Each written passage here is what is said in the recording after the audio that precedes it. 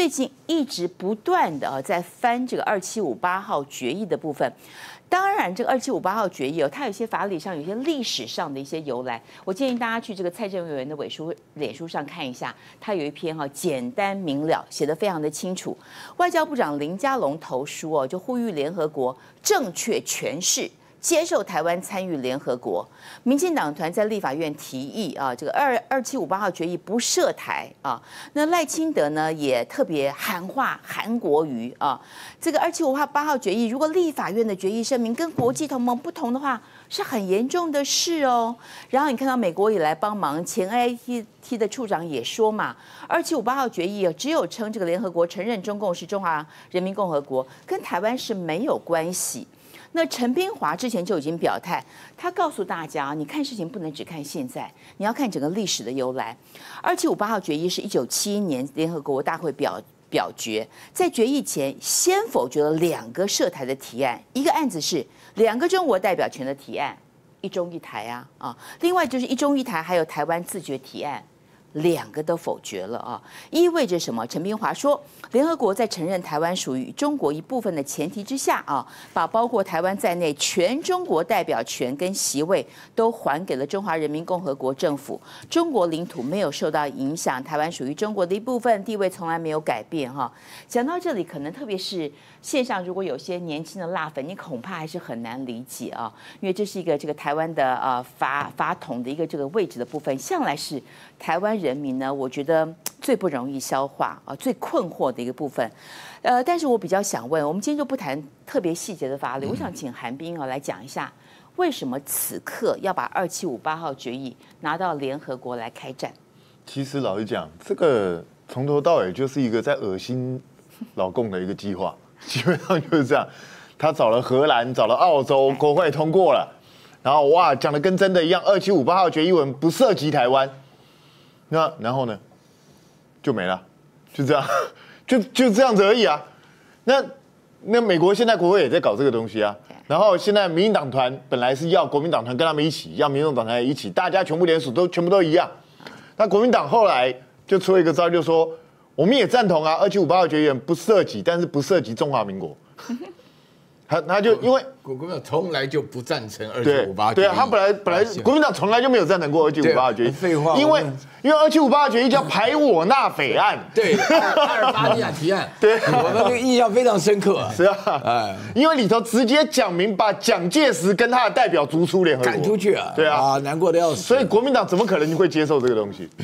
所以我觉得这个东西去要求国民党去接受，我觉得本身第一个很奇怪，然后第二个就是他们现在要去搞的那一套。真的司马昭之心，路人皆知。他的意思就是说，他根本也不想谈中华民国，他就是说不涉及台湾，所以我台湾就可以独立了。嗯，你想的真美。对，做梦。不是，如果不是赖清德他们逻辑很好笑，他就说，你看国际每一个都支持台湾不属于中华人民共和国，那这就表示国际承认台湾独立，所以我们台湾只要二七五八决议人，大家在全世界各国一通过，台湾就可以独立。那我。这些国家干嘛这样拐弯抹角？他直接承认你独立不就好了？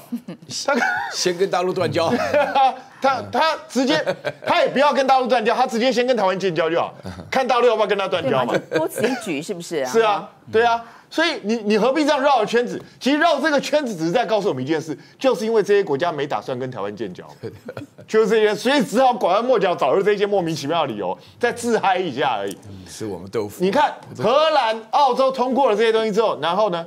然后他有他有说要跟中华人民共和国断交没有啊？他继续维持跟中华人民共和国的邦交，继续不承认台湾是一个国家。我想的比较多一点啊，我想请教一下韩冰哦，现在在铺陈这个议题是为了下次选举做准备吗？对，就是还是那个基调叫抗中保台啊。然后因为赖清德其实自己有点面子挂不住，为什么？因为他本来是个务实的台独工作者，可是他为了拿到这个领导人的职位，现在他就只好。不不敢直接讲台独，可是你要知道，他背后还是有一堆基本教义派的人一直在讲说啊，你为什么我们选你当总统就是要搞台独啊？所以他只好时不时就拿出这些有的没的东西出来讲一下。然后你看他有的时候会突然之间乖一点，然后有的时候突然之间蹦个新两国论。前两天又又蹦一个，我们绝对不要和平协议啊，对啊。那其实我我想请教赖清德啊，你有看到从蔡英文上台之后，大陆有提过任何想要谈和平协议的事吗？人家根本没打算跟你谈和平协议啊！你在臭美什么东西啊？我都不知道。你一个很简单的道理嘛，你都不承认你是中国人了，两岸已经不是你都不认为两岸是一个中国，那哪有和平协议可以谈？嗯，对大陆来讲，我根本就不会跟你谈和平协议啊，就这么简单的一件事啊。所以我跟你讲，他们其实做的这一大堆动作，都只是试图在他们那个同温层小圈圈。你看他那个什么和平协议是在哪里讲的？是在。福尔摩沙什么学会那个就是长老教会那种什么鬼团体里头讲，的对对对。然后他其他就他来来去去就在那些独派团体头讲，其实在干嘛？同温层取暖而已，没有什么任何意义。这个我跟你讲，二七五八的决议，就算美国也都同意了，这些西方欧盟全部都同意了，然后又怎样？还是不能怎样？但从他就任到此刻为止，你就看到这个两国论在逐步的升级啊。那这个部分就对比着这个中国大陆，我们看到这个军强马壮啊，所以你认为呢？啊，接下来会让这个态势急速的恶化跟紧张吗？其实我倒觉得还好啦，因为你看得出来，就是赖清德虽然嘴巴很硬，身体是很诚实。他常常那讲的很大声，冲冲冲，然后又丢回来，讲讲那又丢回来，就是这样子而已嘛。他也只敢停留在嘴炮的程度上。你叫他再进一步，他也不敢。然后他每天天天在讲说台湾要提升实力，台湾要提升实力。结果他每天到处去干什么？成立那个什么是全全社会强韧什么什么，我都不会念那个什么怪委员会，那个很难念，对，没有错。还有韧性委员会什么挖沟的。然后那一天是在讲和平协议，是在那个民房，他要在一千多家长老教会成立民房。你长老教会成立什么民房，我都不知道。你的解放军那你就。念圣经，集体念圣经，还是唱玫瑰经把它念倒，是这样吗？你能民防什么？什么也防不了啊！玫玫瑰经好像是天主教的，无所谓啊，就随便念念，反正念解放军也听不懂。不是重点是在于你在讲一些不切实际的东西嘛？它背后其实它这一套逻辑跟谁很像，你知道？跟黑熊学院跟曹新成一模一样的东西。对对。所以这种就是拿来骗人的东西，基本上黑熊学院本来就是个诈骗组织，你知道，就跟以前那个那个台湾国台湾国一样，是个诈骗，台湾国政府一样是个诈骗组织。然后这种诈骗组织是干什么？就是骗台湾这些百分之四十的渔民啊。然后讲民进党现在正在升华，他正在升华变成一个邪教，你知道，现在赖清德自己认为自己是个教主啊。他现在希望他的信徒就是他，他们去干嘛就干嘛，往东就只能往东，往西只能往西。他实际上在整个台湾就是就是在不断的洗脑，不断的在神功护体啊，就是这样子而已啊。接下来我跟你讲，我们马上就要变义和拳，很快。